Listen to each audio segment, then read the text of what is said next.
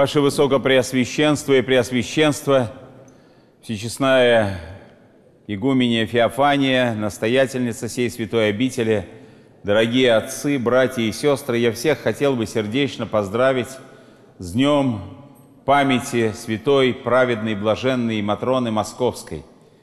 Действительно, 15 лет тому назад было прославление этой общей московской почитаемой старице в лике святых. Нередко для того, чтобы совершить акт канонизации, специальные комиссии работают над тем, чтобы выявить наличие реальной помощи, которую люди получают от молитвы к тому или иному святому. Не всегда это просто найти. А вот в случае с Матроной Московской все было очень просто. Не надо было ни заседать никаким комиссиям. Все было ясно, потому что общенародное почитание святой было столь высоко даже в трудные времена, когда внешнее проявление религиозности было ограничено, а нередко и пресекалось властью.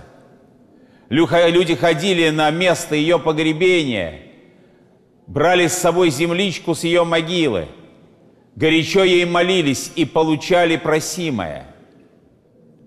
А почему возникло такое почитание Матроны после ее кончины? Да потому что такое почитание было уже при жизни.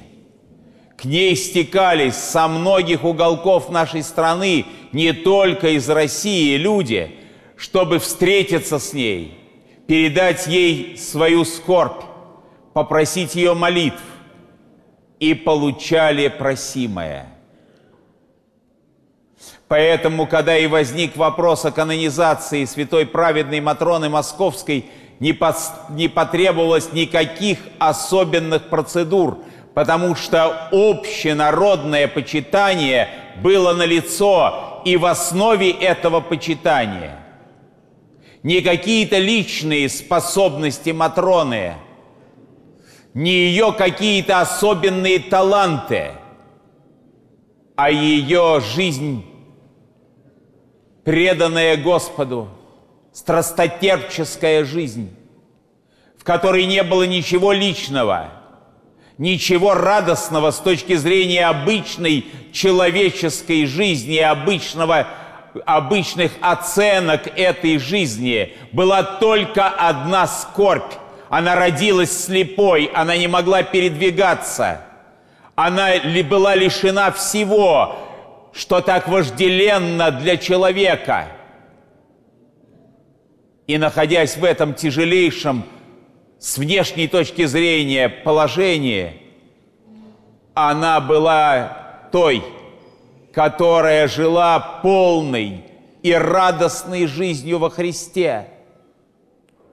Потому что радость происходит от Бога, счастье проистекает от Бога. И даже человек, который не может видеть и передвигаться, живущий вместе с Богом, обретает эту радость и эту внутреннюю силу, которую дает благодать. И нередко такие люди способны делиться этой радостью, этой силой с окружающими их людьми. Удивительным образом, но ведь к Матроне приходили разные люди – существуют какие-то не совсем правдоподобные истории, а существуют очень даже реалистические истории, о которых мы имеем множество свидетельств. Как к ней приходили и знатные, и совершенно простые, и люди духовные, и очень падшие грешники. И она ведь принимала всех, и славных, и бесславных, и благочестивых, и грешных. Она молилась за всех, кто к, ним, к ней приходил, и кто просил ее помощи. И ведь помощь-то получали почти все. И тогда может быть задан такой сложный вопрос. А как же с грешниками? Вот приходили к ней грешные люди, которые жили беспутной жизнью, у которых с точки зрения порядка, закона и гражданского, и церковного все было неправильно в их жизни. Приходили, просили, и Матрона помогала. И вот для того, чтобы понять, как это происходило. Нужно обратить внимание на то рядовое евангельское чтение, которое полагается на сегодняшний день. Чтение удивительное. Там есть повествование о том, как в доме Симона прокаженного, который точнее был прокаженным, но потом был исцелен Спасителем – женщина блудной жизни, грешная женщина, подошла и стала целовать ноги Спасителя и плакать.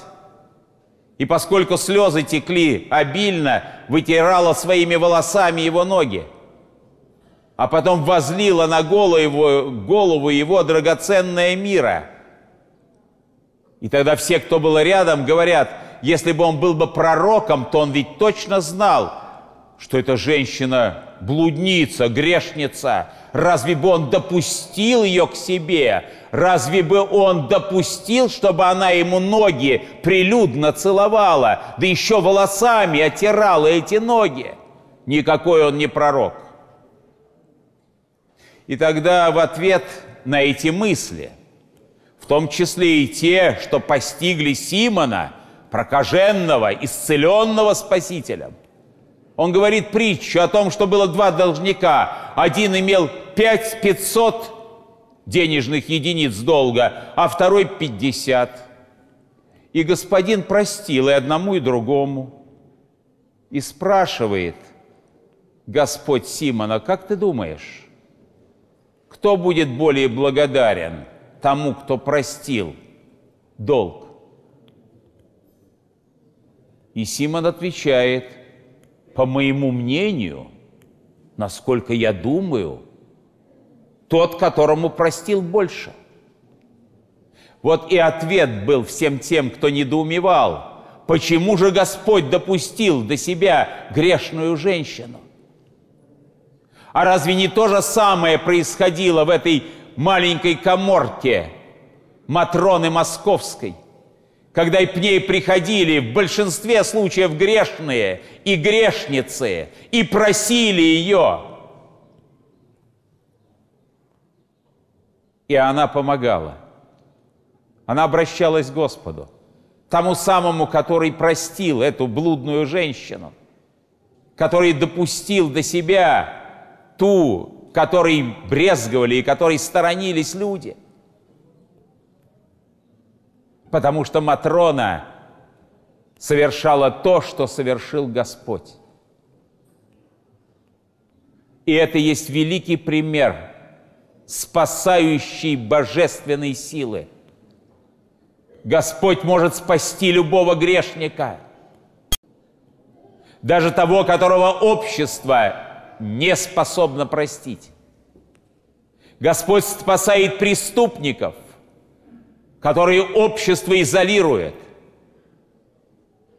И мы знаем случаи, когда, освободившись из заключения, люди меняют свою жизнь настолько, что становятся примером для других. Сила Божия простирается на всех, ибо по Его слову дождь дождит и на праведных, и на грешных, и солнце сияет и над праведными, и над грешными. И сила угодников Божьих в том, что они помогают грешным людям увидеть милость и любовь Божию. которую часто мы с вами не способны передать другим людям. Мы можем говорить о любви, а когда нужны усилия, то огромное количество отговорок, в том числе и тех, а достоин ли этот человек вообще, чтобы с ним разговаривать или ему помогать, не говоря уже о том, чтобы разделить с ним его скорбь. Подвиг святой праведной Матроны Московской, который отображает в себе служение Спасителя, потому и был так востребован людьми, потому и сегодня так востребована людьми. Святая, праведная, блаженная Матрона Московская, потому что ведь что греха таить? Не так много праведников, как много грешников, которые сегодня приходят к ней и просят ее молитвы, и ведь получают просимое, потому что великая угодница Божия эти молитвы передает тому, кто сам прощал грешников и исцелял их недуги. Вот в этом и причина святости святой праведной Матроны, в этом и источник ее чудодейственной силы, потому что она жила по заповедям Христовым, а проще сказать, она делала то, что делал и Христос Спаситель.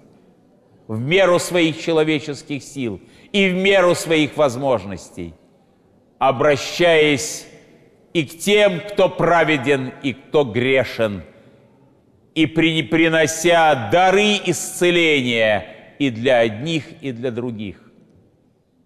И, наверное, самый главный урок, который каждый из нас должен вынести, соприкасаясь с праведной Матроной, и мы должны быть способными прощать грешников. И мы должны быть способными не осуждать людей.